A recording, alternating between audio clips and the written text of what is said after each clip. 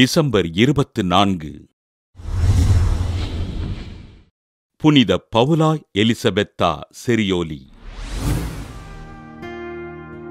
Italy நாட்டிலுள்ள சோன்சினோ பகுதியில் வாழ்ந்த பிரான்செஸ்கா செரியோலி பிரான்செஸ்கா குர்னியானி பெற்றோருக்கு கிபி ஆயிரத்து எண்ணூற்று பதினாறாம் ஆண்டு ஜனவரி இருபத்தெட்டாம் நாள் பிறந்தார்.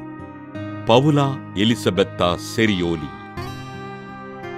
இறை பக்தியிலும் ஞானத்திலும் சிறந்து விளங்கிய இவர் பெர்காமோ பல்கலைக்கழகத்தில் ஐந்து ஆண்டுகள் கல்வி பயின்றார்.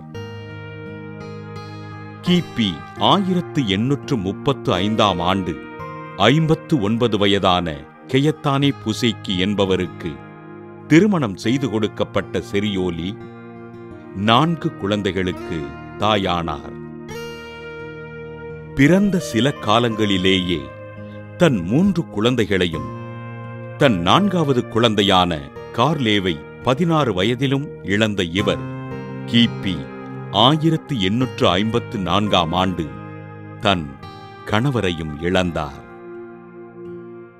தன் வாழ்வினை இறைவனுக்கு அர்ப்பணிக்க விரும்பிய எலிசபெத்தா செரியோலி கிபி ஆயிரத்தி எண்ணூற்று ஐம்பத்து ஆறாம் ஆண்டு டிசம்பர் இருபத்தைந்தாம் நாள் தன் முதல் வார்த்தை பாட்டினை அளித்து அருட்சகோதரியானார்.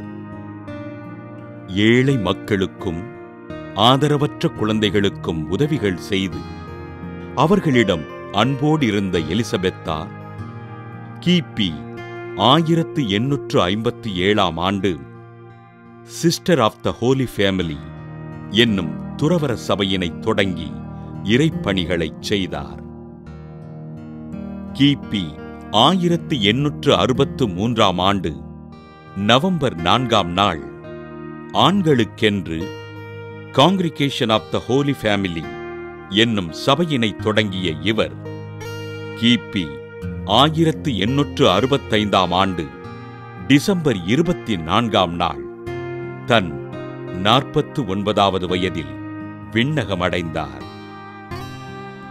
ஏழை குழந்தைகளும் ஆதரவற்ற குழந்தைகளும் நன்கு பராமரிக்கப்பட வேண்டுமென்பதற்காக ஆண்களுக்கும் பெண்களுக்குமாக இரண்டு சபைகளைத் தொடங்கி இறைப்பணிகளைச் செய்த அருட்சகோதரி பவுலா எலிசபெத்தா செரியோலியினை திருத்தந்தை இரண்டாம் ஜான்பால் அவர்கள் கடந்த இரண்டாயிரத்து நான்காம் ஆண்டு மே பதினாறாம் நாள் புனிதராக உயர்த்தினார்.